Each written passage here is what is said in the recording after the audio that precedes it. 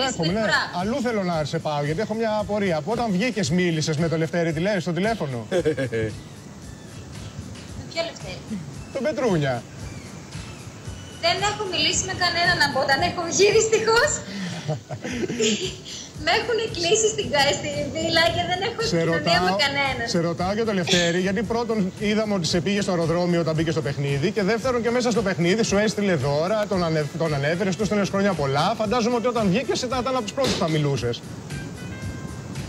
Να, και εγώ νομίζω πως θα είναι ο πρώτος που θα μιλήσει. Το πιο, το ποιος Λευτέρης πάντως ήταν κάτι. Το πανταζή. Όχι, δεν κατάλαβα με ποιο λεφτέρι γιατί μιλούσαμε για το παιχνίδι.